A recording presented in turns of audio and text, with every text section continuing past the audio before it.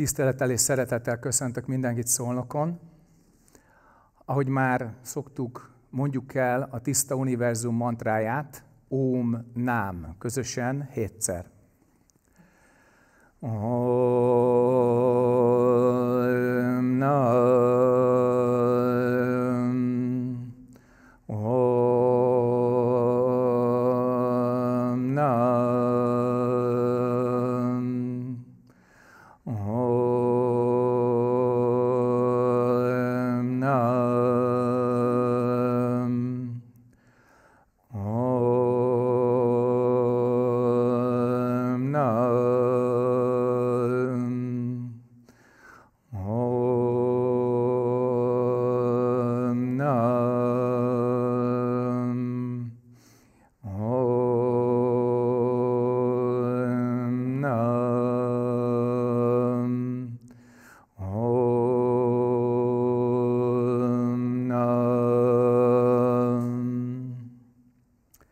Köszönöm szépen.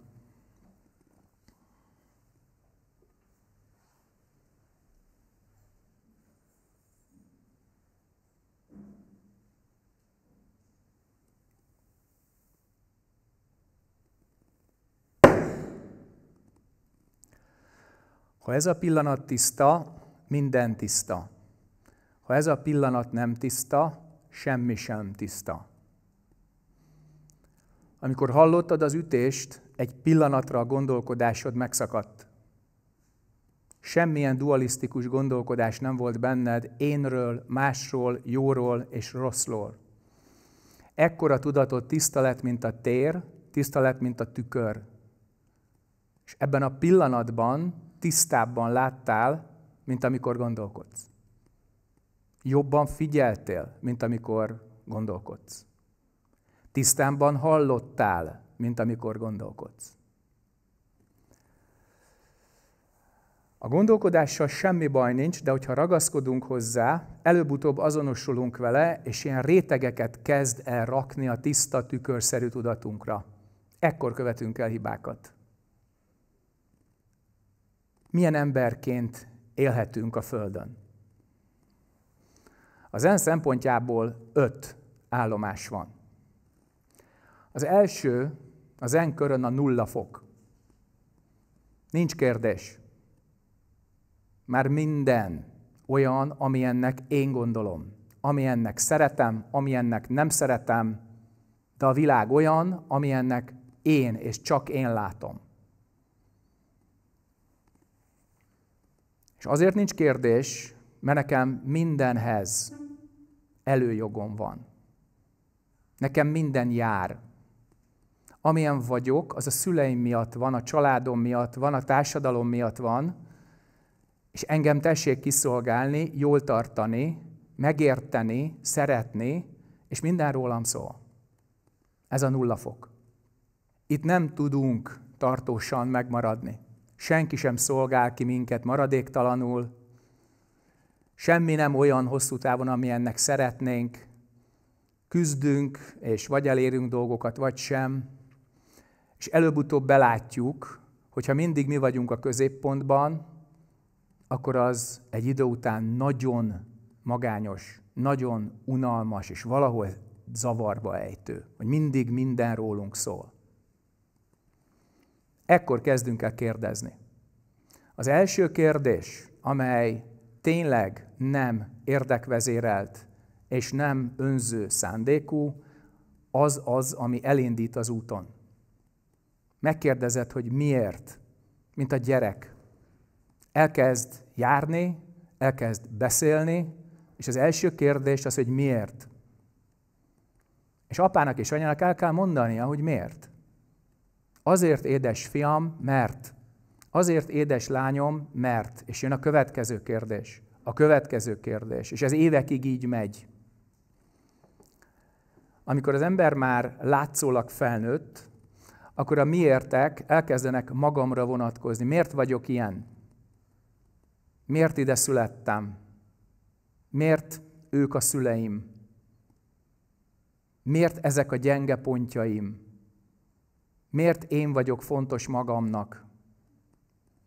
És előbb-utóbb eljutok egy olyasféle önismeretig, amely sok-sok tudással ruház föl. Megismerem magamat, a világ működését, de még mindig csak tudok. Még mindig csak könyvekből, közvetett forrásokból, gondolati úton.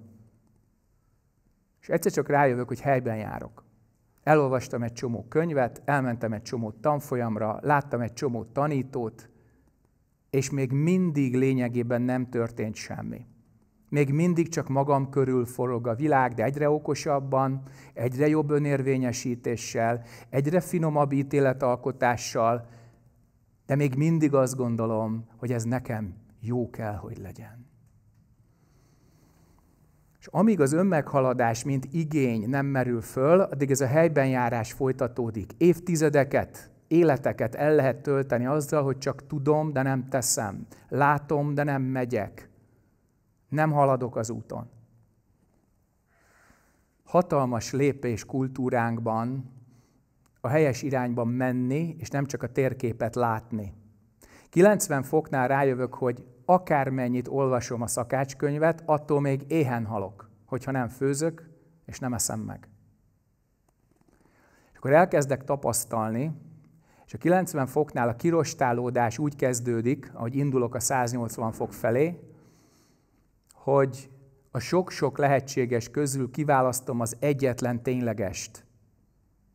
Azt a hagyományt, amelyet végre szeretnék művelni, azt a tanítót, akiben bízom, azt a tanítást, amelyet így elsődlegesen értek, és azt a gyakorló közösséget, tanítványi közösséget, ahova úgy érzem, hogy be tudok illeszkedni, és egy idő után tartozom. Tehát ahol a Buddha, Dharma, Sangha, tanító, tanítás és tanítványi közösség hármassága számodra, mint működő megjelenik, az a hagyomány lesz az utad. Nem biztos, hogy szeretni fogod a tanítódat. Legalábbis az elején nem biztos, hogy így van. Nem biztos, hogy érteni fogod a tanítást a pici felszíni, pároldalas, párkönyves szakaszon kívül. És nem biztos, hogy az egész közösség el fog téged fogadni rögtön. Ezt ne várd. De ahol olyan tanítóra találsz, akitől mindenképpen szeretnél tanulni, akitől a negatívat is elfogadod, aki bőven lehánthatja rólad az egoitásod rétegeit, és ezt te megengeded, sőt kéred, az lesz a tanítód. Ha kellemes, akkor is, ha fáj, akkor is. A tanítás az olyan, mint a térkép. Ha jó a térkép, akkor olyan, mint a táj. De a tanításnak az a dolga, hogy túlmutasson önmagán, és a tapasztalásig elvigyen.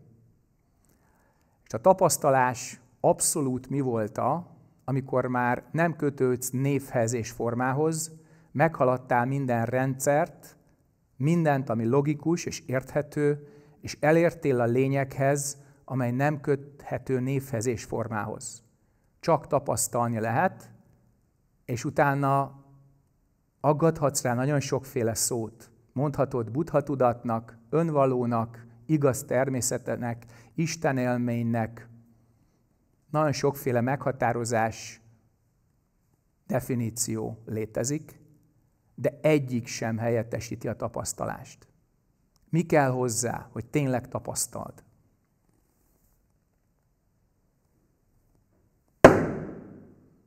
Csak ez. Ez a tudat. A kérdés, hogy ezt hogyan tartósítod, hogyan teszed önállóvá, hogyan teszed a zenbottól és a hangtól függetlenné. Ehhez kell a gyakorlat. A 180 fokon, amikor ez a pillanat letisztul, bekövetkezik az az egyévválás, amely a zen eredeti jelentése. Ez a szanszkrit gyána szóból származik, Kínában lett csanna, aztán csan, koreaiul szon, japánul zen. Európába és előtte Amerikába a zen olvasatként jött el. Ez az egyévválás olyan, mint amikor a csepp visszatér az óceánba, és az óceánnál válik. Megtapasztalja azt, hogy ez a csepp eredetileg az óceánból van. Rájövünk teremtett és teremtő mi voltunkra egyaránt. És hogyha az énségünket egy nagyobb egész részének látjuk, az avatárunkat, a személyiségünket teljesen minden aspektusában teremtetnek látjuk, akkor érkezünk el ahhoz, hogy minden egyes karmánkat át tudjuk alakítani. Egyetlen tulajdonságunk sem tűnik abszolútnak, megváltoztathatatlannak, elszigeteltnek, más karmától függetlennek, vagy öröknek. Na tökéletesnek aztán biztos nem tűnik. Annyit már élt itt mindenki eleget. És amikor rájössz, hogy minden karma múlandó, egy másik karmától függő és önálló minőség nélküli, akkor az nem az énednek a megsemmisülése, hanem az ego kérgednek a lehámlása. És kiderül, hogy az egoitásod vaskemény titánium fala mögött ott van az a szerencsétlen elszigetelt személyiség, amely eddig védte önmagát, ami eddig bújt, vagy éppen kiterjesztette magát a falon túlra, de önmagával nem volt tisztában soha. A létmódjával soha nem volt tisztában. Hogy honnan jön és hová megy, soha nem volt tisztában. Tehát amikor az önkép eltűnik, akkor az önvaló tapasztalata beáll. És ezért helyez az európai kultúra ekkora hangsúlyt a gondolkodásra, mert mi több évezrede ezzel a kognitív gondolkodással azonosítjuk magunkat. Ezt hívom több tanításban logos betegségnek, de Cartesius mester, franciául Descartes, kimondta azt, hogy gondolkodom, tehát vagyok. És ezt nagyjából el is hisszük, már Arisztotelész óta elhisszük. De ez mennyire nincs így, azt ma kétszer már mindenki tapasztalta ebben a teremben. Hogyha tényleg igaz lenne, hogy gondolkodom, tehát vagyok, akkor már az első botütésre mindannyian meghaltunk volna. Hiszen megszakadt a gondolkodás, akkor megszakad az élet is. De szerencsére ez nem így van. Tehát van egy olyan tudatunk, amely nem keletkezik és nem szűnik meg, tiszta, mint a tér, tiszta, mint a tükör, akkor is önmaga, ha gondolkodik, és akkor is önmaga, ha nem. Akkor is önmaga, hogyha önképet formál és dualisztikus, és akkor is, ha nem. Ezt azért érdemes tudnod, mert válsághelyzetben ehhez tudsz igazán visszatérni amikor sem a gondolkodásod, sem az érzelmeid, sem a szavaid, sem a cselekedeteid nem működnek rendesen. És úgy érzed, hogy akármit csinálsz, és akármi értéged, az mind rossz, és mind szenvedésteli. Na akkor emlékezz arra, hogyha visszatérsz erre a pontra, visszatérsz a gondolkodás előttibe és a tiszta pillanatba, akkor a karmád, mint a felhő, elkezd elvonulni a fejed fölött, ha hagyod ha nem hagyod, akkor hegyként rád zuhan. Hegyként agyonnyom. Mert nem tapasztaltad azt, hogy a forma üresség és az üresség forma, tehát a keletkezett, az a nem keletkezőből jön. És a nem keletkező egyszer csak keletkezik. Amíg ragaszkodsz a tudáshoz, addig olyan vagy, mint az a halász, aki a hálójával ki akarta fogni a tengert amikor egy halász rájön arra, hogy ez lehetetlen, mert csak halat fog fogni, de tengert nem fog fogni a hálójával, akkor előbb-utóbb leteszi a hálót, és beugrik a tengerbe, és hirtelen a halak között találja magát. Ez a különbség a gondolkodás és a tapasztalat között. A 180. fokon belátod az éned relatív voltát. Ez ugyanaz, mint amit az előbb úgy mondtam, hogy teremtett de visszatérsz a teremtőhöz is, amelyet megszemélyesíthetsz, és ekkor létrejön az Istenkép, a panteon, a buthák, a vallás. És tarthatod a maga lényegi tapasztalatában is, ahol nincs név, nincs forma, nincsenek keretek, nincsen struktúra, és a két megnyilvánulás egyenértékű. Ne tessék ítéletet alkotni sem egyik, sem másik fölött. Innen viszont a következő lépés a változás. Mikor rájövök, hogy tényleg képes vagyok változni, mert a meditatív tapasztalatom bemutatta, hogy amit önmagamnak gondoltam, az csak túl ig érvényes. Az változtatható minden egyes elemében. Akkor elindulok egy olyan úton, hogy a látás általi megszabadulást magam megváltozására szeretném fordítani. És amikor ez a folyamat elér egy olyan stádiumot, hogy a másnak való segítés ugyanolyan értékes, mint a magamon való segítés, ez a 270 fok. A teljes átalakulás, a teljes szabadság és felelősségvállalás birodalma. A 270 fokon minden lehetséges, és mindennek van következménye. A tudat nem hétköznapi. Olyan vizekre evez, ahol még nem volt, ahol bármiféle énség és bármiféle éntelenség lehetséges. És itt elég könnyű elveszni. Azok, akik speciális képességek birtokában vannak, azok nagyon könnyen letérnek az útról, mert pontosan a képességeikkel való azonosulás áll keresztbe, mint a kamion az autópályán, amikor félrecsúszik a jégen a vontatmány. És azért kell a jó karmára is nagyon vigyázni, mert hogyha ahhoz ragaszkodsz, és azzal azonosulsz, az még nagyobb akadály, mint a rossz karmával való együttélés, hiszen a rossz karmát le akarod vetni a szenvedést okozó tulajdonságokat le akarod vetni. De amikor oly mértékben boldoggá tudod tenni magadat és másokat, hogy nem veszed észre a saját énségedet emögött, azt nagyon nehéz félretenni. Honnan veszed észre, hogy a 270 fokba beleragadtál? Hogy te leszel a magányos mágus. Te leszel az, aki mindenre képes. Csak egyre nem igazán társulni mással. Tehát aki ebben elvész, az elmagányosodik. Az egy újabb énséget termel ki. Nem képes lejönni a hegytetőről. Nem képes az állandó változáson egyszer csak úrrá lenni, és azt mondom, hogy köszönöm, még a speciális képességekről is lemondok. Miért? Azért, hogy a 360 fokon újra egy teljesen hétköznapi életet éljek. Mi a különbség tehát a nulla fok és a 360 fok között? Óriási. Egy világnyi különbség van. Mert bejártad a kört. Onnan látod, hogy ezt megtetted, hogy eltűnik a félelem. Tehát félelemmentesen tudsz élni. Nem jelenti azt, hogy a negatív tanulságokat ne használnád föl, hogy ne emlékeznél a kudarcaidra, hogy ne lennének meg a traumáid. De az ehhez való viszonyulás gyökeresen megváltozott, azért, mert látod ezeknek a létmódját, látod, hogy ezáltal lettél az, aki, és teljesen kézbe veszed és uralod a karmádat. Amikor pedig 360 fokot eléred, az életed látszólag normális.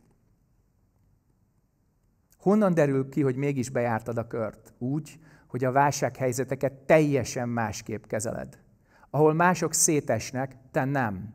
Ahol mások hirtelen egoistává válnak, ott te nem. Ahol a stressz szétüt homloklebenyeket és szétéged szívcsakrákat, ott téged nem. Mert másképp működsz. Más az én élményed. Egyszer csak a 180-on eltűnt, a 270-en átváltozott, és a 360 fokon visszajött a hétköznapokba.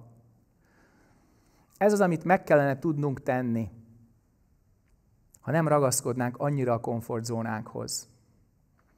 De a komfortzónában, a nulla fokon azért nagyon jó, mert senki nem maradhatott sokáig. Előbb-utóbb tapasztaljuk a tökéletlenséget, a kölcsönös függést, a múlandóságot. És ekkor feltesszük az első miért kérdést. És igen, az első kérdés az, hogy miért én? Ezt szeretem a legjobban. Miért én? Azért, édesem, mert te születtél meg ebbe a testbe. A te lelket keverte ki a DNS-t apuból meg anyuból. Úgy, és ezért nem azonosak a testvérek, még az ikrek sem.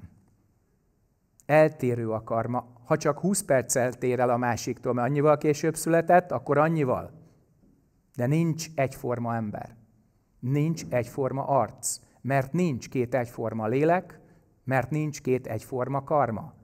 Tehát csak oda és akkor és azokhoz születhettél, akikhez te ezt megtetted. Ez innen indul. Ez nem determinizmus, ez a helyzeted tudomásul vétele. Hogy valóban ezzel a lélekkel, ezekkel a tulajdonságokkal, ezekkel a szokásokkal születtem le. Igen, én így gondolkodom. Így érzek így beszélek. így cselekszem. Ezzé formált apám, anyám. Nem tehettek mást, mert ez az ő karmájuk. Én meg mínusz egy és plusz három éves korom között szintén nem tehettem mást, mert az meg az én karmám. Ebből kell felébredni. Ezt kell meghaladni. Ezt kell megváltoztatni, és a megismerés 90 fok, meghaladás 180 fok, megváltoztatás 270 fok. Enélkül ez nem megy. Úgyhogy ha bárkinek kérdése van az úttal kapcsolatban, most bátran tegye föl. És a bevezető végszavául csak annyit, hogy senki sem folyamatosan halad az enkörön. Mindenkinek van egy-egy jobb napja, egy-egy jobb gondolata, egy jobb állapota. És amikor érinted a különböző részeit az enkörnek, akkor az kiszürkül. Oda már nem kell visszatérned. És így szépen, ahogy haladsz az úton, amit meglátsz magadból, amit engedsz a tudat felszínet fölé, vagy ami a tudattalamból kitakarodik saját maga, az lesz az igazi változás. Nem pedig egy új szerep, nem egy új maszk, nem egy új arc. Felfigyeltél arra, hogy mindig ugyanez az arcod? De tíz évvel ezelőtt azért másképp nézett ez ki. Meg húsz évvel ezelőtt is. És húsz évvel később pedig már ki tudja? Ugye? No, kinek van kérdése? A kérdésem az, hogy ezt a 270 fokot és 360 fokot mindenkinek be kell járnia, aki leszületett igen, erre igen, a földre? Igen, igen, igen. Mindenkinek. És a és... 180 nélkül nem megy. Nagyon sokan szeretnének a 90 foktól a 270-ig így átnyargalni. A megismerésből a megváltozásba ekkor leszünk bűvészinasok. Uh-huh. Ekkor leszünk félig sült kenyerek, ekkor leszünk túlságosan sokat tudó, de nagyon keveset tapasztaló gyakorlók, akik piszkos kézzel nyúlnak bele a saját lelkükbe, és így másokéba is. Tehát az önmeghaladás nélkül önmagunk megváltozása nem lehetséges. Még egy kérdésem lenne. Az, aki eléri a félelem nélküliséget, az, az bejárta a 360 fokot? Igen, és utána kezdi újra, mert uh-huh. kézen fogta a legkedvesebbét, és mennek együtt. Vagy a barátja, vagy az ellensége őt fogta kézen, és mennek együtt. Tehát ez egy állandó körözés? Eredetileg nem mozdulunk. Eredetileg nem megyünk sehova. Ez a téridő és a benne lévő haladvány az elménk terméke. Ha követed az elmét, akkor folyamatosan körbe-körbe megyünk az élet és halál körforgásán. Az életben a zen valamilyen körforgásán, akkor is, hogyha 0,1 fok per évtizeddel megyünk, mert valamennyi realizáció van, csak nem mindegy, hogy a pofon tanít, vagy a belátás tanít. Ha nem hagyod, hogy a belátás tanítson, akkor a pofon fog. Van, aki a válság erejével tud csak bármit elérni, mert szétrobbant az élete és káoszba fulladt minden, amit csinál. Van, aki a belátás által tanul, mert belül meglátja, hogy hogy működik, és már nem kell annyira odavernie magát kint, mert megtanulta ide bent. Tehát van a materiális érzékszervi realizáció, jó étvágyat, mert 8 milliárd ember nagyjából ezt csinálja, és van a mentális realizáció, nagyon kevesen szavaznak erre, egyszerűen azért, mert nem tudják, hogy hogyan, és nem csinálták. Tehát mindenki halászni akar, és kipusztulnak a halak a tengerből. Értjük? Úgyhogy igen, a 180-at legalább egy picit el kell érni. Nem, nem kell ott maradni. A Monteverest tetején 8848 méteren se versz tábort. Jössz le. De meg kell járni a csúcsot. Ezért gyakorlunk. Ezért csináljuk. Oké? Okay? Köszönöm szépen. Szívesen. Egyéb kérdés? Igyekszem úgy élni, hogy az, az jó legyen, tehát hogy a következő életemben ö, jobb legyek, mert hogy ebben az életemben sem voltam az első időszakban, azt gondolom, hogy egy ö, nagyon jó ember, vagy egy hasznos ember, lehet, hogy inkább ez a legjobb szó rá. És ezért a munkám is olyan, hogy, hogy embereken segítek. A környezetemben is segítek. Tehát ahol csak tudok, embereken, állatokon, mindenben is segítek. De nemrég azt gondolt, vagy úgy érzem, hogy nem olyan hosszú idő óta, hogy nem vagyok az utamon. Pedig ez egy jó út, úgy gondolom. De mi van akkor, hogyha, hogyha most változtatok, akkor az lesz a jó utam, vagy az az én utam. Mi a jó? Mert vagy az is le... voltál már jó, hogy én már nem is tudom, hogy mi az. Hát ami szerint én úgy gondolom, hogy a következő életemben is jó lesz. Lépek egy szintet. De mi a szint? Hát Hon van a létra? Jákob? Tehát Jákob feliratú lajtorja? nem tudom, tehát hogy azt gondolom, hogy egy tudatosabb... Ah, végre! Kezdünk a jó és a rossz szorításából kiemelkedni, Tehát, és eljutunk a tudatosság egy adott szintjéig, nulla és ezer között, ugye, bárhova. Na, szóval, mi a jobb itt? Nem tudom, hát pont ez a problémám. Az az aggályom, hogy mi, mi van, hogyha rosszat választok. Persze lehet, hogy nem rossz az sem, hiszen ebből is tanulok, de most ilyen nem tudomka vagyok. A nem tudomka az kevés, az a kicsi nem tudom. Legyél csak a nem tudó, és a nem tudom elér egy kritikus tömeget, és akkor lesz a nem tudható csak tapasztalható. Tehát a nem tudom, itt nem információhiány, hölgyeim és uraim, hanem a téves nézetektől való mentesség, a hamis önképtől való mentesség, a hiába való illúzióktól való mentesség. Tehát nyugodtan merj nem tudni csak egészségesebb leszel tőle, és kevesebb karmát szomatizálsz. Azt mondod, mindenkinek segítesz, de rájöttél, hogy nem elég jól. Rájöttél, hogy nem igazán az úton jársz. Jó hírem van, figyeled, jó hír. Ha rájössz, hogy nem az úton jársz, akkor már egy lépéssel közelebb kerültél ahhoz, hogy ténylegesen az úton járj. Tehát egy negatív tapasztalatnak ugyanakkora értéke van, mint egy pozitívnak, mikor, ha tudatos. Ha felfedezed, hogy mi van mögötte, hogy miből táplálkozik és mit táplál. És ez a tudatosság, hölgyeim és uraim, ez az, ami minden dualitást meghalad, minden dualitást elfogad, minden dualitást meglát, egyikkel sem azonosul, és így mindegyiket meg tudja változtatni. Belül is, és így kívül is. De ha te nem változol meg belül, miért gondolod, hogy a kapcsolataid, a világod, az életed megváltozik kívül? A világ tudatunk általi teremtettségét 79. generáció óta folyamatosan tanuljuk. 2560 évről beszélünk. És nagy részünk bukik. Ismétlünk, nézd meg. Ha buktál, akkor csak ismételsz. Szenvedve szenvedsz. Ha tudatos vagy, akkor szenvedve fejlődsz. Tehát az ébredés és a fejlődés az a személyiség érettségében mutatkozik meg. Magyarul nem csapod be magadat és másokat sem. Hát annyira jó, hogy belül néha szétesünk, mert másképp nem lehetne a homokszemeket a fogaskerekek közül kitisztítani. Nem lehetne alkatrészt cserélni. Ugye senki nem tiltakozik, amikor a szervízben a hibás autó szétszedik. Tehát utána összerakjuk, kimegyünk vele az útra, és boldogan megyünk. A személyiség ugyanez.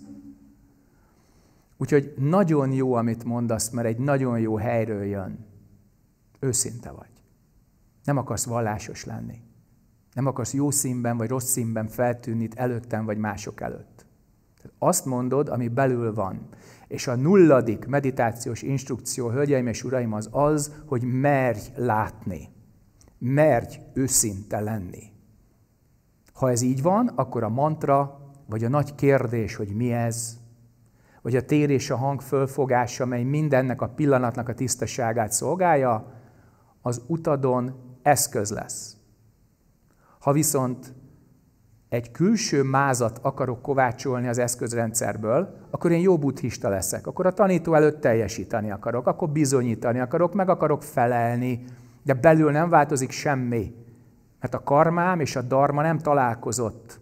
A tükörben a hamis illúzióim, az önképeim nem jelentek meg, de 40 percen keresztül figyelem a lélegzetemet, tartom a mantrát, és ezt el is mondom másoknak. De úgy lezárom a lelkem kapuját, ahogy kell. hogy ne történjen semmi, hogy ne zavarjon semmi, hogy én jó buddhista, jó gyakorló legyek, és itt, itt csak a nyomás nő belül. Hát előbb-utóbb robban, tehát semmelyik gyakorlat sem hiába való, csak minek szenvedtessük magunkat, ha nem kell. Magunk szenvedtetésével csak egy baj van, hogy azonnal ezzel másokat is szenvedtetünk. Azon nyomban. A kölcsönös függőség az emberi kapcsolatokban a legintenzívebb, legintimebb, legtragikusabb, legboldogabb, legfájóbb, legörömtelibb, mert mi emberek vagyunk közel.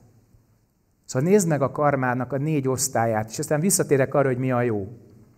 Van az egyéni karmád, van a páros karmád, van a családi karmád, és van a csoportos karmád. Az egyén az úgy tűnik, hogy nagyon jól körülhatárolható, mert egy test, egy lélek. Igen, ám csak a tudatod az meddig terjed. A gondolataid milyen hatással vannak másokra. Az érzelmeid, a szavaid, a tetteid mit eredményeznek. Tehát az egyén az nem ér véget ennél a bőrnél, az megy tovább. Finomabb energiatest, finomabb mentáltest, az bizony nem ér véget itt a fizikainál. A páros és a családi karma között bizony a gyermekáldás a különbség. Elég radikális, mert aki átélte ezt az átmenetet, az tudja, hogy a külső kicsi butha pontosan úgy működik, mint a belső kicsi butha, darabokra szakít, és utána összerak. Tehát aki gyereket hozott a világra, esetleg többet is, az pontosan tudja, hogy az életét a gyerek szétszedi az utolsó csavarig, éjjel és nappal. És aztán vele együtt ragd össze. Úgyhogy már ő benne van. És hogyha ezt átéled, az nincs önfeláldozás, önmeghaladás és önmagad átalakítása nélkül. Tehát egy ideig nem tudod, mikor van éjjel és nappal. Ha apukák részt vesznek ebben a folyamatban, annál jobb. Egyrészt, mert a gyerek kötődik hozzá, anyuka nem idegenedik el, mert ugye hol voltál, mikor a gyerek üvöltött és hányt és fogzott és egyebek éjszaka. Ugye? Ja, hogy filmet nézett a másik szobában. Jó? És ez nem arról szól, hogy neked dolgozni kell másnap. Ez arról szól, hogy nem bírod a stresszt. Nincsen center. Tehát amikor erre rájövünk, hogy mi a család, akkor azt is látod, hogy mi a társadalom. Tehát a társadalom az egy sokkal nagyobb identitásdoboz, a nem vérszerinti kötődés, a szerződéses, uram, bocsá, alkotmányos vagy közjogi alapú kötődés, és ez a negyedik ugyanolyan fontos, mint a családi, a páros és az egyéni. Tehát nem csak az a kérdés, hogy miért ebbe a családba, miért a szüleidhez születtél, hanem az is, hogy miért magyarnak. Miért ebbe a társadalomba? Mi az a karma, amely benned és összes magyar honfitársunkban közös? Hidd el, ez nem fákjás menet. Ez nem mítosz. Ez nem kemény lapú és gyönyörű fényes oldalú fényképes könyvek olvasgatása, hogy, hogy te ebből építs ki egy önképet. Ez egy kőkemény belső munka. Úgyhogy mi emberek elképesztően megjósolhatóak vagyunk. Jónak tartjuk azt, amely boldogságot hoz, kielégülést hoz, egyensúlyt hoz, jólétet hoz, mondhatjátok tovább. És igyekszünk elkerülni a szenvedést, amely a halál, a nélkülözés, a betegség, az öregség, a, a minden, ami ugye nem az, amit szeretnénk, mert nem tesz boldoggá, nem ad biztonságot, nem ad teremthetőséget, hanem mindent elvesz mindent elsötétít, mindent bezár. És hogyha megnézed, minden ember, bármely kultúrába mész, ő azt mondja, ő jó ember. Senki nem rossz ember. Senki nem tudatosan szenved és szenvedteti a másikat. Nem akaratból. De akkor miért nézzünk így ki? Akkor ez a föld miért van ilyen állapotban? Akkor a világban miért ez a helyzet? Nem látunk itt valamit nagyon keskeny sávban. Nincs itt valami vakság, nincs itt valami hiány. Esetleg nem látjuk azt, hogyha megteremtem a jót, azon nyomban a fonákon megteremtem a rosszat is. azzal, hogy magamnak akarok jót, azzal esetleg mástól már el is vettem valamit? Tehát, hogyha a kettősségek természetét nézed, akkor előbb-utóbb eljutsz a középútra. A középút nem az átlag, nem a szürke, nem az unalmas. A középút az, ahol a világot és magadat elsősorban úgy látod, ahogy tényleg vagy, a magam ilyenségében. És hogyha jót akarok, akkor az magamra és másra egyaránt érvényes kell, hogy legyen. Tehát mások kirablása által gazdagnak lenni, ez csak a probléma elodázása. Miért? Mert a szenvedés fákjával, téglákkal be fog jönni a jólét ablakán, és be fogja törni az üveget. A három rétegű biztonsági üveget be fogja törni a tömeges szegénység. És ezt Európa annyiszor eljátszotta, és annyiszor elfelejtette, hogy tragikus, hogy nem tanulunk.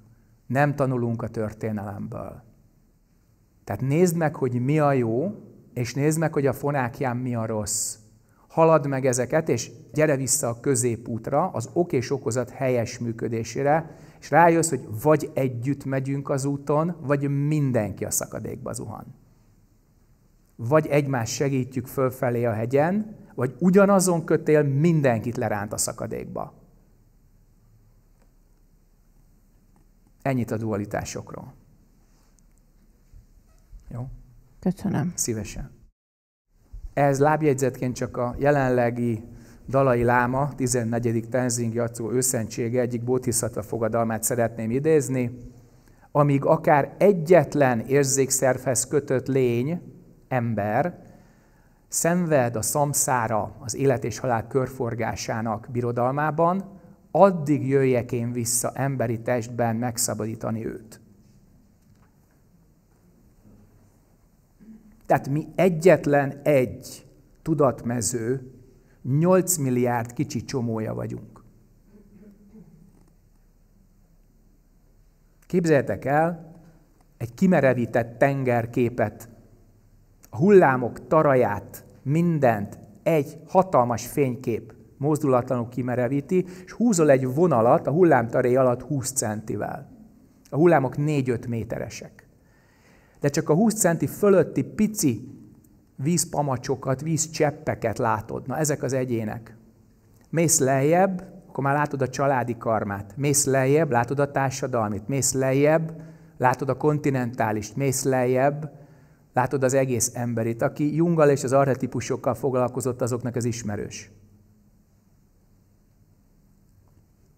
És hogyha egy hétköznapi hasonlatra váltod ezt, és a kimerevített tenger helyett van egy konyharuhád, ahol ilyen kis csomókat csináltál befőttes gumival. Ezek a gumi fölötti kis csomócskák ebben a konyharuhában, na ezek az egyének. És mihelyt ezt a gumit leszeded róla, a konyharuha kisimul. Emlékezz erre, amikor úgy érzed, hogy a nézőpontoddal nagyon egyedül vagy. Hogy a család nem ért meg, hogy a társad nem szeret. Levetted magadról a saját önközpontúságod befőttes gumiát? Elkeverted a saját csomódat a palacsinta tésztában? Tudod, hogy a palacsinta tésztában a csomó ugyanabból van, mint a rendes palacsinta tészta? Liszt, tojás, tej, szódavíz. Van, aki még élesztőt is tesz bele, és hagyja állni. Tehát nézzük meg, hogy valójában hogyan létezünk és keverjük el az egoitás csomóit a palacsinta tésztában. Az út üzenete, az összes tanító tanítás az, hogy nem szükségszerű a szenvedés és szenvedtetés. Nincs rád kiróva, hogy boldogtalanul kell, hogy élj. Nincs megírva sehol, hogy neked félned kell. Nézd meg ezeknek a tatváját, a működését. Miből jön, hogy marad fönn, és hová megy hogyan táplálja újra az egész folyamatot, az az énség, amelyet nem ismertél meg, nem haladtál meg, nem változtattál meg, és nem használtad föl arra, hogy segíts másokon és magadon egyaránt. Önbizalom a teljesítménykényszer helyett. Oké? Okay? Tessék ezen dolgozni. Szívesen. Egyéb kérdés? Tanácstalan vagyok avval kapcsolatban, hogy nagyon sok ismerősöm úgy közelít felém, jön hozzám, hogy ilyen negatív dolgokat terhel rám, és kérik tőlem a tanácsot, hogy itt segítsek, úgy segítsek. Amit tudok, megteszek, segítek, ebben, abban, abban, viszont a kérdés sem az lenne, hogy másokon tudok segíteni, de viszont magamon meg nem. Miből fakad, hogy ez bármiben így van, tehát hogy magamra nem tudok úgy koncentrálni, ez vagy... nagyon jó. Vagy, de másoknak a problémáját, probléma nem szeretem, szóval feladatait meg tudom oldani, a saját feladatomra nem tudok annyi erőt, vagy nagyon id- helyes. időt, vagy, vagy, vagy nem is tudom mit, mit szállni. Nagyon helyes. És itt a kérdés Jól az, hogy... csinálod. Ö, akkor nem velem van a probléma. Vagy De. ha gond, vagy, De, vagy, hát de velem a van. probléma mindig veled van. Tehát ha Nem jól vetted csinálok valamit, akkor, akkor az... Jól csinálsz valamit 50%-ban. Képzeld el, hogy nagyon ilyen kis daliás fél karod van, de a másik fele hiányzik. Tehát az baj. A Az fél baj. kar jól működik, de kéne mind a kettő.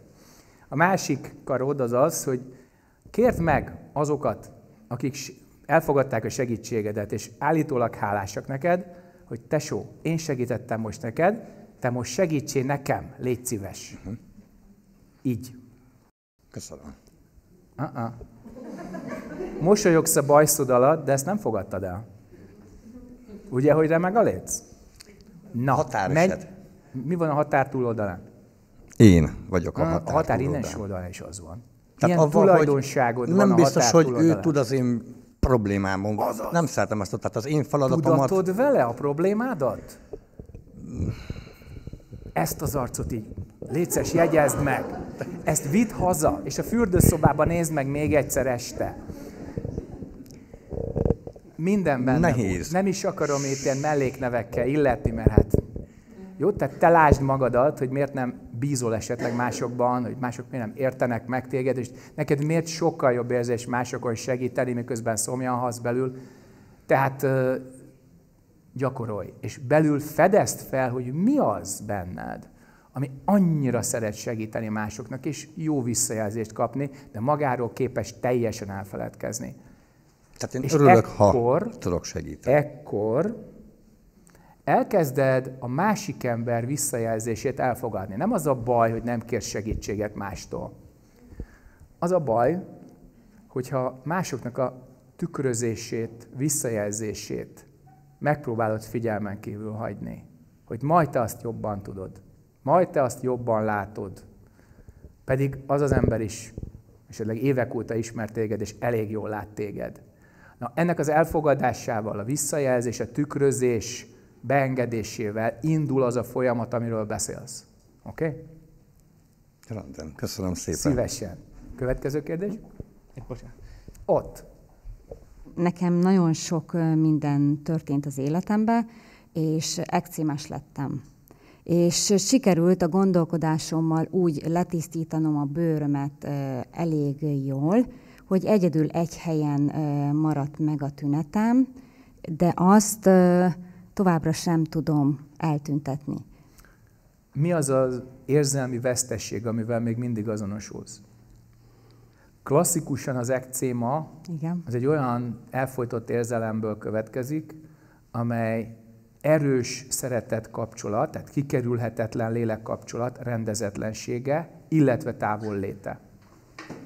Korai veszteség, beszéd vagy kommunikáció hiánya, bármi, ami nem engedi az adok-kapokot, nem engedi a közlekedést a két személy között, és a máj ezzel úgy tud valamit kezdeni, szomatizált karma, hogy a tüzet kiviszi a bőrre. Tehát az elégedetlenség, harag, frusztráció, tehetetlenség tüzét ráviszi a bőrre. Miért? Mert egy bizonyos mennyiségen túl az elme képtelen a karmát tárolni. Megkattanna. Amikor évekig ez van. Mit csinál? Ha nem tudja sublimálni, nem tudja a meditáció vagy terápia által szépen elengedni, a nem azonosulás által megszabadulni tőle, rá fogja tolni testre. És ezáltal tanítja magát.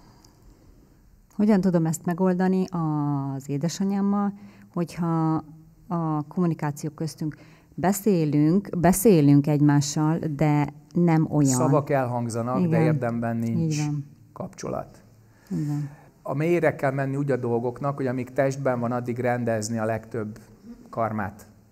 Az a jó, hogy erre elég hamar rájöttél, mert nem tudtad kikerülni, hiszen ott volt a bőrön. A legelső kérdés, már ma elhangzott kétszer is, de minden ilyen esetben, amikor kapcsolati karma van, főleg szülőgyermek, és te vagy a gyermek, akkor fel kell tenned a kérdést, miért ő az anyám? Miért hozzászülettem? Mi a kapcsolatom lényege vele? Mi az az eltéphetetlen karmikus kötelék, amely nem a szomszédban landoltatott, egy másik házszámban, egy másik gólyával, egy másik vonalkóddal, hanem ide, hozzá, így. Ez az alap, ha ezt nem látod be, akkor nem tudod a többit, a kapcsolati részt megoldani. Uh-huh. Ha szülő vagy, és a gyermeked, hát már azért pocakban elkezdő nagyon jól jelezni, hogy ő kicsoda, micsoda. Akkor szülőként legyél szíves néha-néha föltenni a kérdést, hogy miért ő született hozzád. Mi a dolgotok egymással? Mi az az eltéphetetlen karmikus kötelék, amelyben benne van az adósság és annak a törlesztése, a lehetőség és annak a beváltása. Melyek azok a csatornák, ahol boldogát tudjuk tenni egymást, vagy ahol szenvedtetni tudjuk egymást, és egy egér klikkantás a különbség a kettő közt. Ennyi.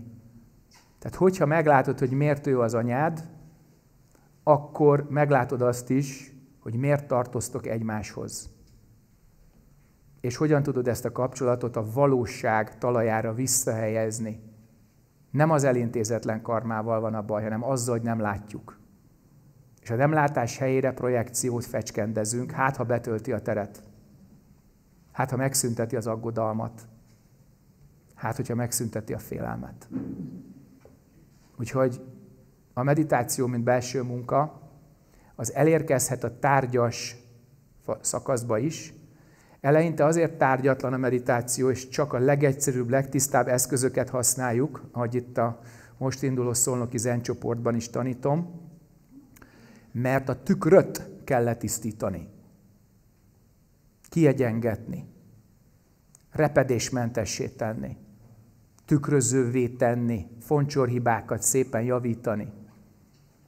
Nézzétek meg egyszer, ha érdekel a fizikai síkon, hogy egy elképesztően erős tükröt hogyan gyártanak, mondjuk csillagvizsgálókhoz. Legyen az Csillében vagy Havaiban. Évekig tart. Elképesztően precíz munka, hogy az pontosan azt mutassa, ami több millió fényévre van, ahogy az van. És ugyanez a tükör bennünk is ott van, csak a saját karmáknak a szennyeződését kell lepucolni róla. Ez a tárgyatlan meditáció. És amikor ez a tükör elég tiszta, akkor elé teszed a karmát, és megkérdezed, hogy mi ez, honnan jön, miből táplálkozik, hogy marad fönn, mit táplál.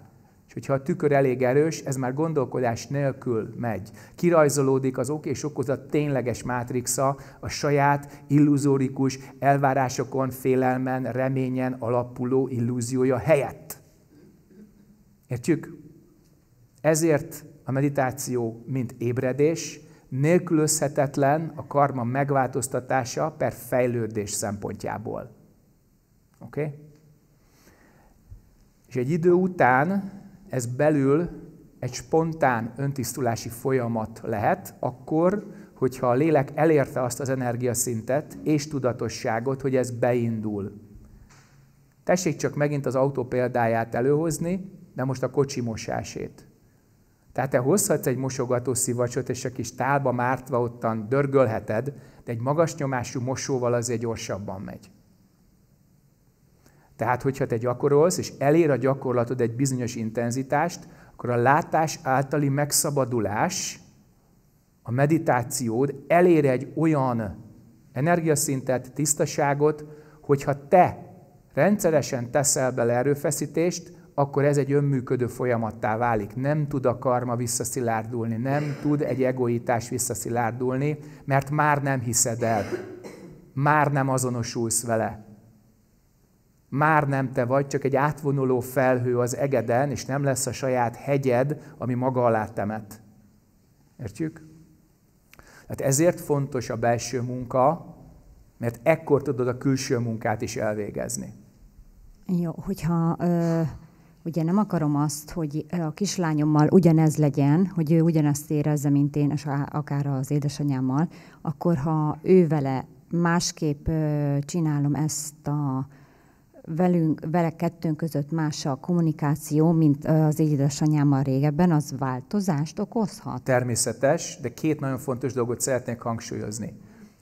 A legfájóbb dolog egy szülőnek az, amikor a saját árnyékát viszont látja a gyerekben, amikor nem azt akartad tanítani neki, amit átvett, de mégis azt csinálja, azt mondja, úgy gondolkodik, úgy érez. Miért? Mert benned az rendezetlen, és akárhogy el akartad dugni, a gyerek mégis megtanulta a te tudattól tudatig való kapcsolatodon keresztül. Hát amit magadban nem rendeztél, azt a gyerek megmutatja neked, akárhogy dugdosod. És amikor ez van, mert ezzel szembe kell nézni, akkor nem az a kérdés, hogy ezt honnan tanulta a gyerek. Kedves szülő, ezt belőled tanulta a gyerek úgy, hogy te magad nem néztél ezzel szembe. De a gyereked most visszatükrözi. Ha a belső kis buthád nem mutatta meg, akkor majd a külső fogja. És ekkor egyetlen egy dolgod van. Visszaveszed ezt a karmát. És akárhány éves elmondod, édes lányom, édes fiam, ez nem a tiéd, ez az enyém. Ezt én visszaveszem tőled.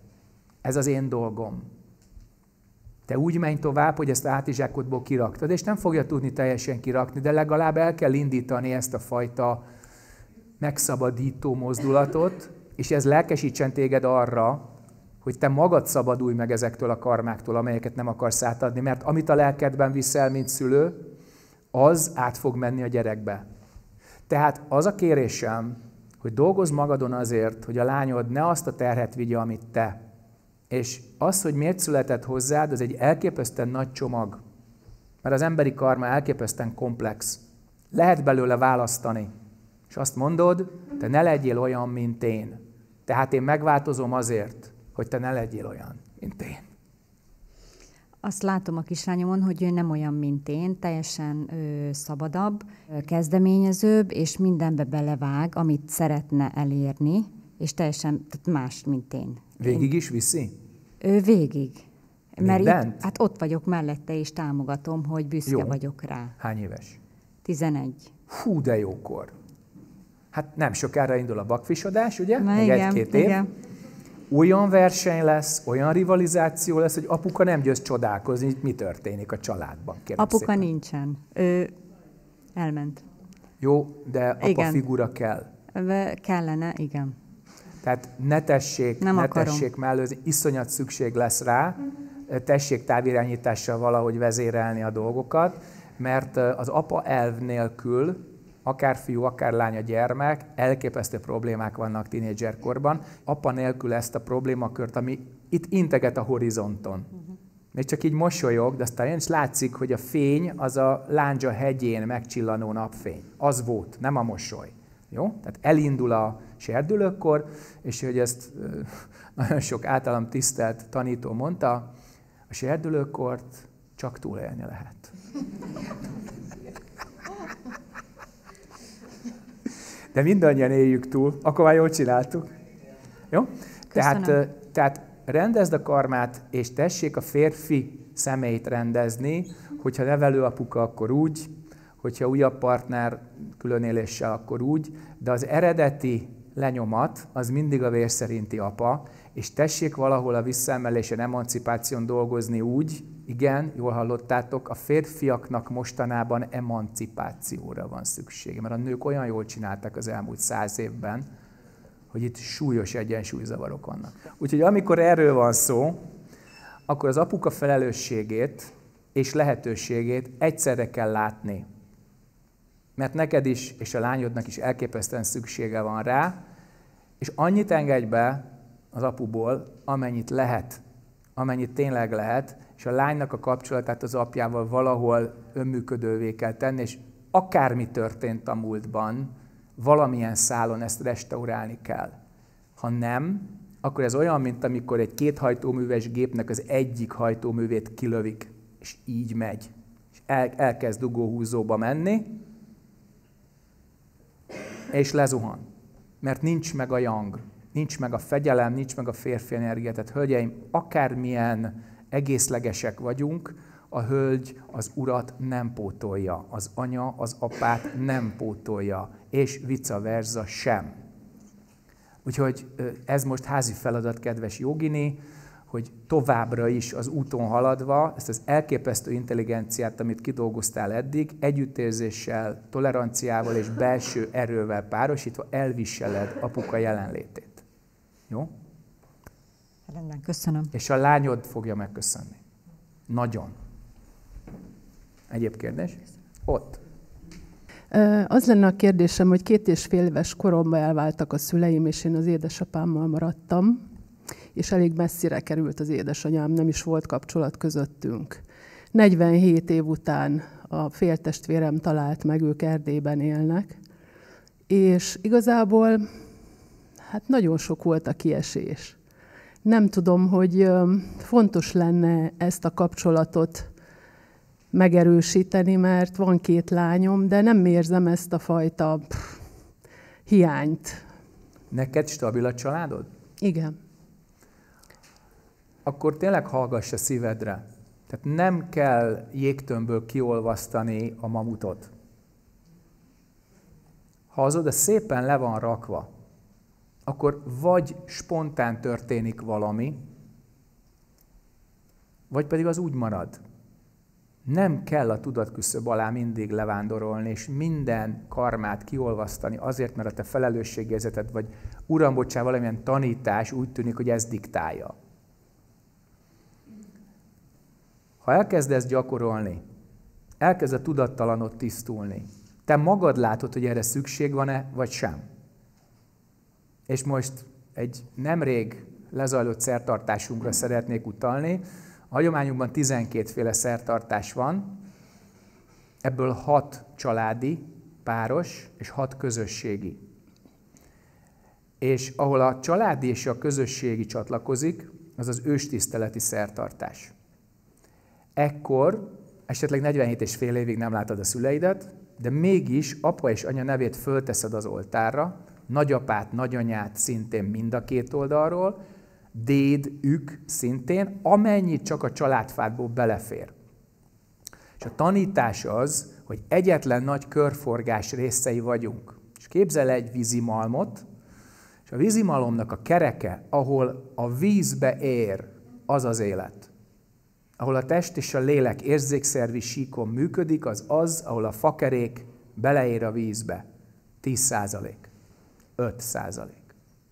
És az összes többi a születetlenben van. De ezek a küllők adják ki a kereket.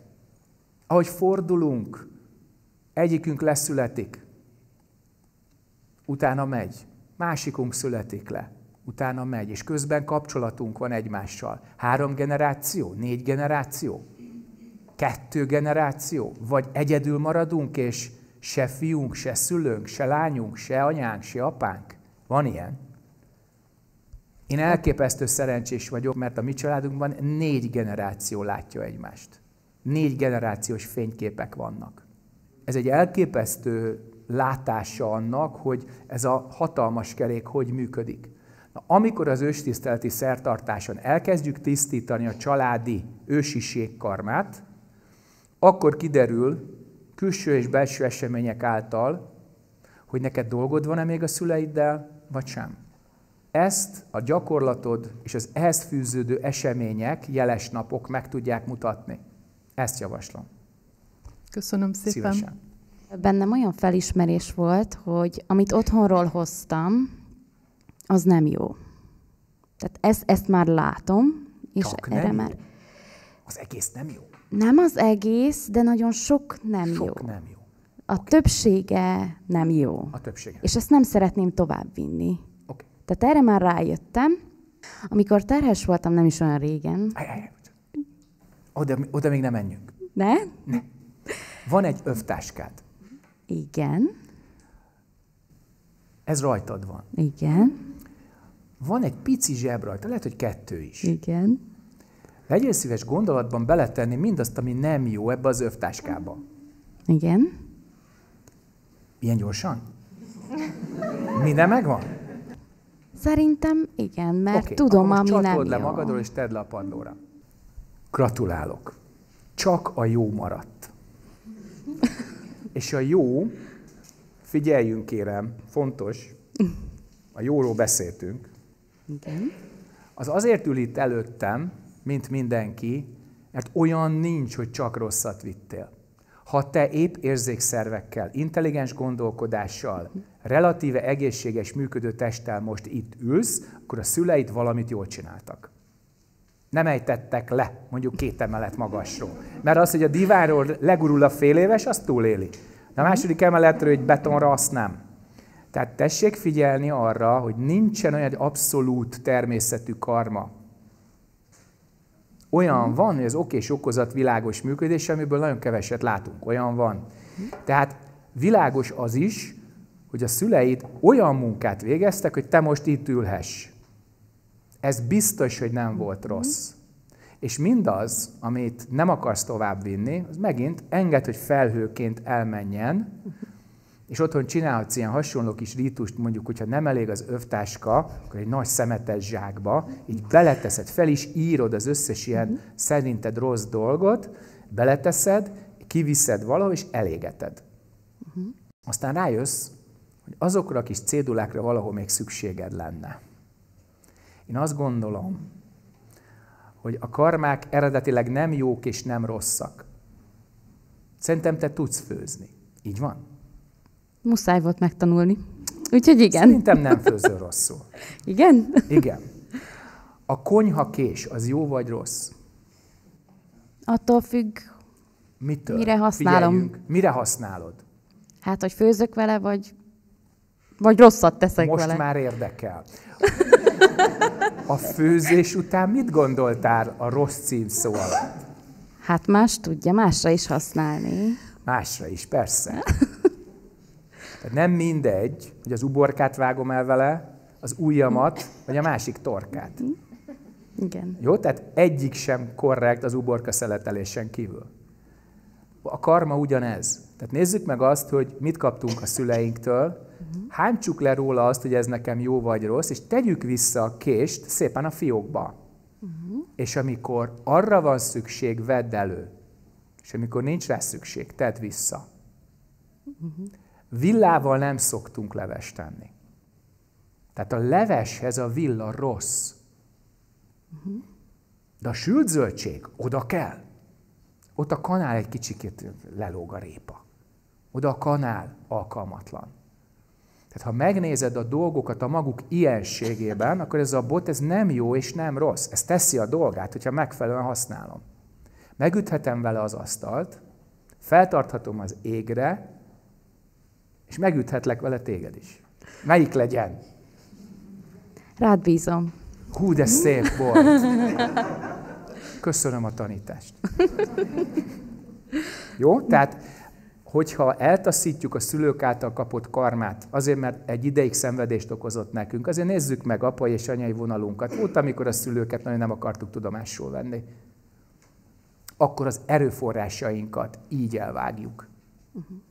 De ha csak a folytatásai vagyunk a szüleinknek, akkor ilyen robotszerű létünk lesz, és akkor mindent úgy csinálunk, ahogy ők tanították. Tehát tessék megnézni, hogy a karmának eredetileg nincs öntermészete. Az elménk teremti, tartja fent, és semmisíti meg, és a felszabaduló energiát újabb karmává alakítja. És innentől kezdve tessék leszedni a jó és a rossz címkéjét, konyhakés, tessék emlékezni rá, és amikor arra van szükség, hogy apámnak a vas akaratát használja, mert éppen az kell, akkor keresztül megyek mindenen, mert apám azt tanította, hogy fiam, tud, hogy mi a legjobb, amit elkezdtél, fejezd be, és amit csinálsz, csináld a legjobban.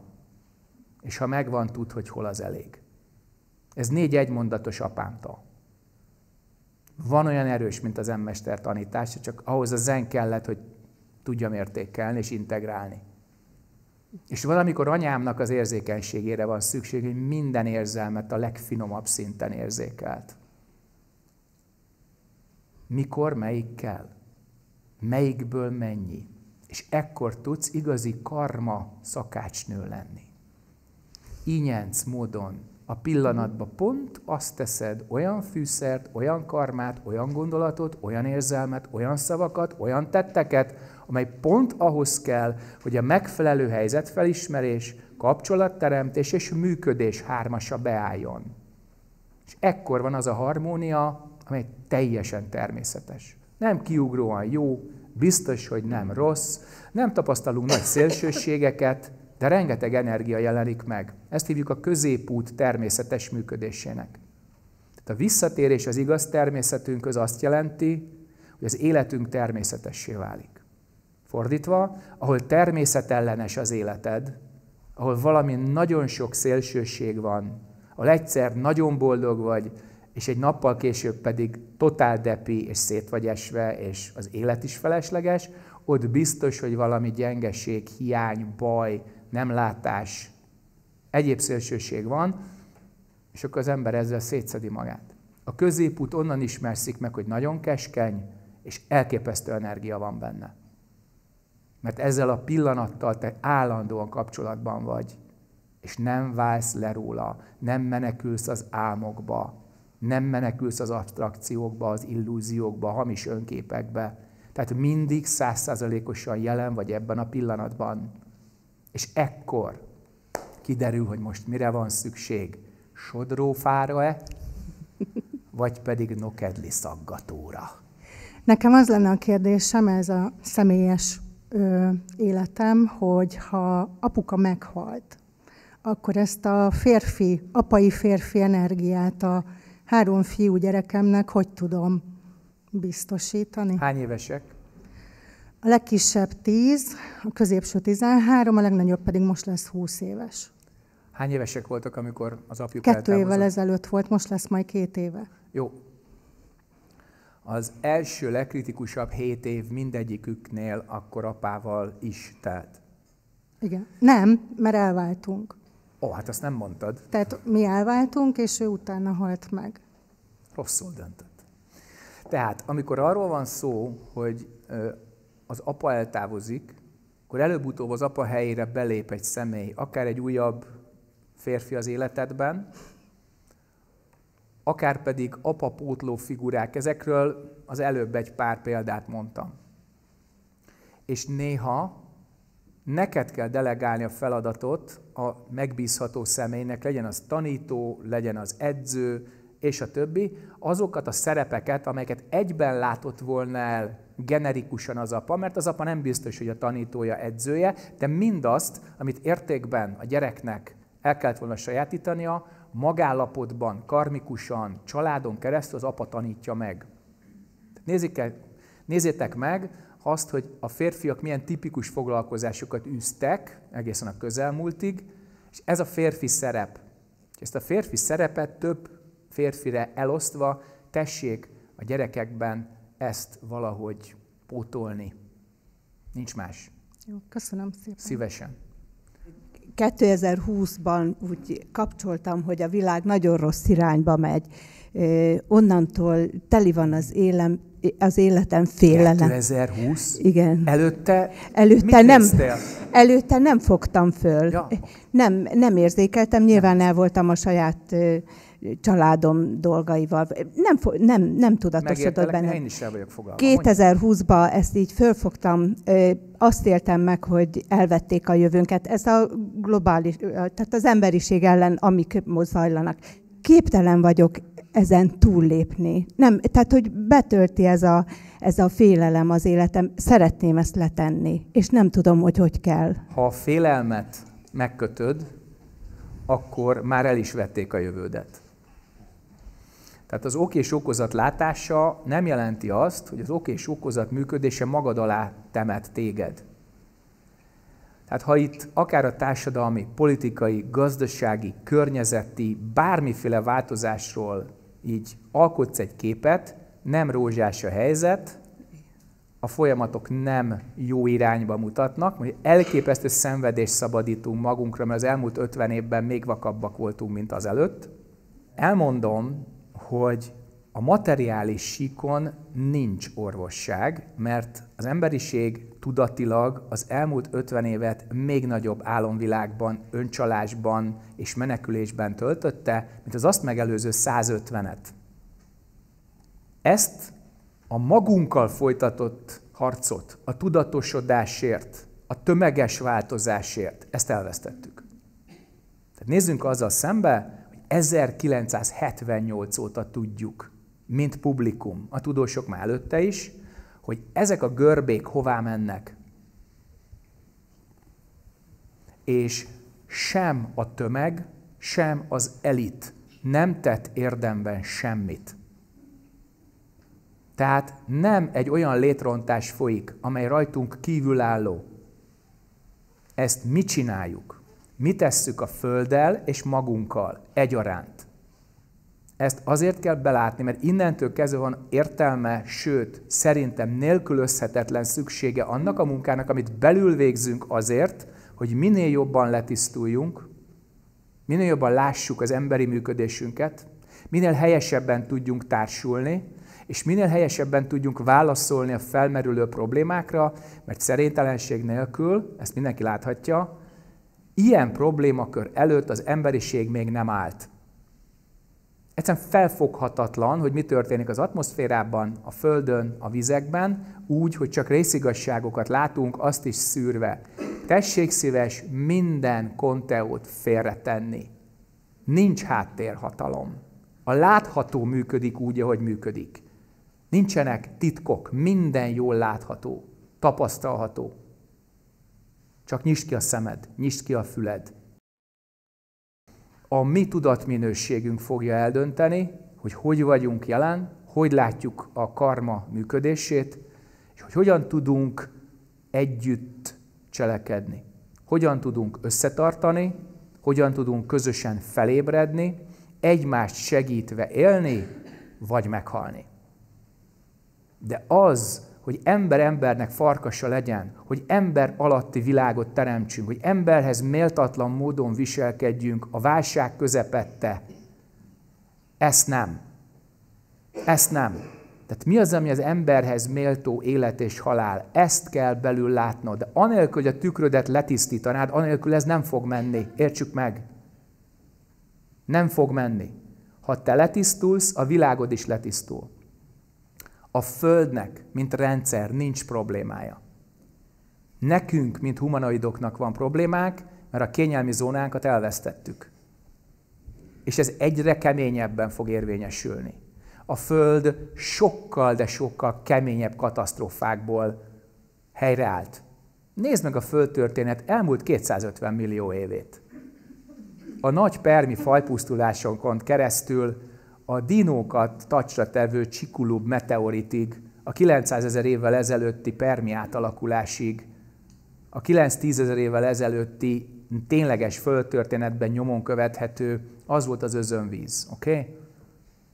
Tehát mindenből feláll a természet, mert a természet egy intelligens, de éntelen rendszer.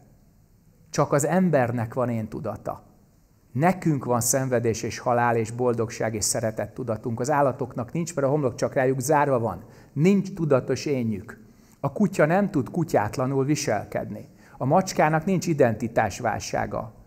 A hangyák nem követnek el építészeti hibát egy hangyabójban. Tehát nem látás statikai hibából összeomló hangyabójt.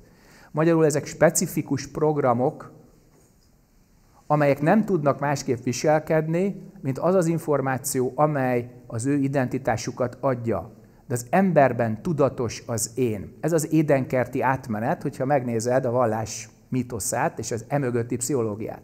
Az énség, mint tudatos képzet, nem dugható vissza a palackba. Ezzel az énséggel, ha nem kezdünk valamit, akkor a saját rossz karmák, a szenvedés, kapzsiság, háború és egyéb által maga alá fog gyűrni minket. Miért? Mert az én fogalmát nem tisztáztuk le. Tehát vagy föl, vagy le. Vagy ember felett, vagy ember alatt. Tudunk embertelenül élni. Nézd meg Európa elmúlt 150 évét. Azt a két világháborút mit csináltuk Európa? A kommunizmus és kapitalizmus, mint eszme egyaránt európai eredetű, mindenhova elment, mindenhova exportáltuk. Hogyan? Hogy történt ez? Most milyen rendszered van belül? Mert amilyen belül, olyan lesz kívül is. Tehát senki, de senki ne hárítsa másra a felelősséget. Hogyha mi embertelenek leszünk, az csak azért van, mert nem ismertük meg magunkat és a másik embert. Nem tértünk vissza a lényeghez, nem látjuk az igazságot, és nem látjuk a működésünket sem. Tehát itt a lehetőség, ebben és más transzcendens hagyományokban egyaránt. Nem egyedül üdvözítő utat tanítunk, hanem a felébredés egyik lehetséges útját a zen által. Ez nagyon fontos. Tehát vagy letisztulunk, vagy elpusztulunk. A halál az nem pusztulás, ez egy átmenet. Mint ember tudunk úgy elpusztulni, hogy felismerhetetlenségig romboljuk emberi mi voltunkat, mert lefelé sincs semmiféle gát. Fölfelé sincs semmiféle akadály. Tehát addig emelheted az önzetlen segítség, felébredettség fokát, ameddig akarod, és olyan mélyre süllyedhetsz, amíg csak el nem mondod, hogy elég. Tehát se beépített védelem, se beépített akadály nincs. Nem kell engedélyt kérned senkitől, hogy felébredj. Csak rajtunk múlik. Megköszönöm mindenkinek a kitüntető figyelmet, a jelenlétet, a kitűnő kérdéseket. Remélem, hogy mindannyian haladunk az úton, felébredünk, és megszabadítunk minden lényt a szenvedéstől, beleértve saját magunkat is. Köszönöm a figyelmet!